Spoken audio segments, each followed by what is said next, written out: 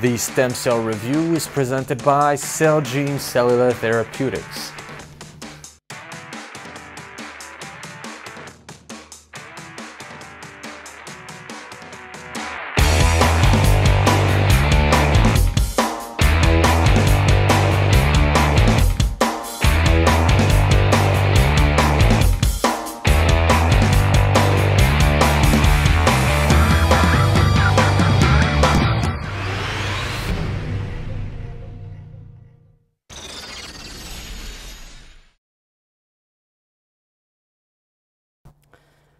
Uh, these are adult stem cells that are present in many organs and tissues of our body that have been investigated for many years now for their capability to regenerate organs and tissues.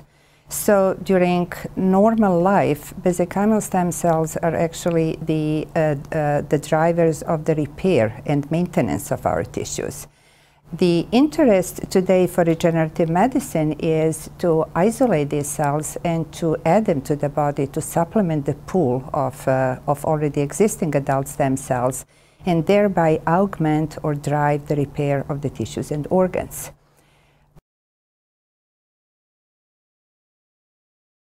They are of embryonic origin, like all our cells. This is how we all start, and uh, we find them in an adult organism in uh, uh, uh many different tissues. Traditionally, these cells have been derived from bone marrow aspirates. And the derivation is rather easy because uh, they have, among other features, they have a feature to attach to the substrate. So they have this like culture adherence, as we say, so that among many, many, many cells that are present in uh, bone marrow aspirate, you can specifically isolate the mesenchymal stem cells. And because they have ability to be propagated, to, be, to grow in culture, then you can grow very large numbers of cells, literally billions of cells, from one single sample of bone marrow aspirate. More recently, we turned also into other sources that are a little bit easier to harvest, for example, fat or adipose aspirates. And it's very interesting that actually you obtain uh, cells of mesenchymal type that have many common features with bone marrow derived cells, but also they have some specificity. They are uh, slightly different with expression to their markers, and they are different uh, with respect to the factors that you need to apply to drive them into specific lineages. For example, if you want to make cartilage from bone marrow derived mesenchymal cells and from fat derived cells, you will use different types of factors. Uh, besides that, there are um, um, muscle, blood. There were reports that actually mesenchymal type cells were also uh, discovered in heart, in liver, in pretty much all tissues in our body. But the frequency of these cells is really the highest in adipose and bone marrow aspirates, and this is our usual source of these cells for research and therapy.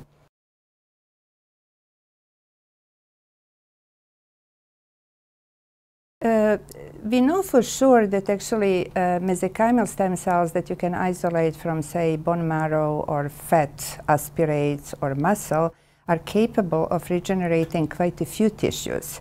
And it is certain that they can make good quality bone, they can make cartilage, they can make ligaments, they can make various types of muscle, and maybe possibly also striated muscle and uh, neural cells they uh, can uh, help repair the heart, but this is more through indirect methods because these cells are uh, inducing and supporting revascularization. So the lack of vascular supply can help repair the heart. So this is what mesenchymal stem cells have uh, been shown to do. And they will also be shown to have multiple trophic and other effects cell protective effect so that they can also recruit the cells from the host to come into the repair site and drive the repair. However, the uh, evidence that these cells are themselves turning into new cardiac muscle, building new cardiac muscle, is not really convincing. And the community is turning towards other cell types, embryonic type cells, iPS cells, uh, to uh, grow cardiac muscle either in vitro or in vivo.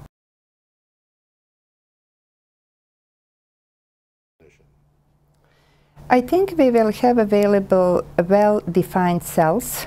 Uh, we obviously, for all these therapies, we need cells that are phenotypically stable, that are very well characterized, the cells that we can drive in a predictable way towards specific lineages and outcomes. So I think this will definitely be the case. We can also think of uh, uh, mesenchymal stem cells being derived from different tissues because the question is how much of the specificity of these cells is due to their geography, to their tissue of origin. Maybe muscle-derived mesenchymal stem cells are a better candidate for repairing muscle than bone marrow-derived cells, or vice versa.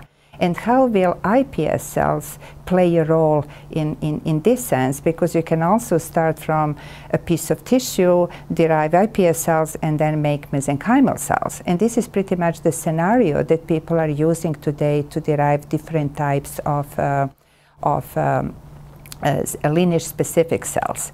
So this is one outcome. The other outcome is that I think there will be applications in some of the areas showing initial promise. So perhaps repair of bone, uh, skin, ligaments, um, continued effort to repair heart by revascularizing. So I think this may be some applications that may come into the picture uh, new uh, materials for the delivery of these cells. The simpler the better, obviously. So if we can think of uh, delivery routes that are very FDA friendly, you know, that can that are safe and efficient and they can be approved the routes of delivery that can uh, assure that you know where the cells are, they're not dispersing through the whole body, that the cells are conditioned and put into a favorable environment to do their job. Um, I think we will also see more uh, effective monitoring of the cell outcomes because functional imaging is becoming a huge area these days you would like to see things as they happen rather than going back into the patient and taking biopsy. So functional markers, markers that tell you uh, uh, uh, predictably uh, uh, some kind of correlation, clinical outcome versus cell well-being. I think these are some of the outcomes. And I think all this will probably happen largely to the increased, uh, increasingly efficient and collegial interaction between stem cell scientists, tissue engineers, clinicians. It started to happen five, six, seven years ago, and I think we are now in a much better shape to do truly interdisciplinary research and to exchange our methods and experiences between the communities instead of being locked, you know, within your own area and your own field of view and your own methods that you, that you already have developed.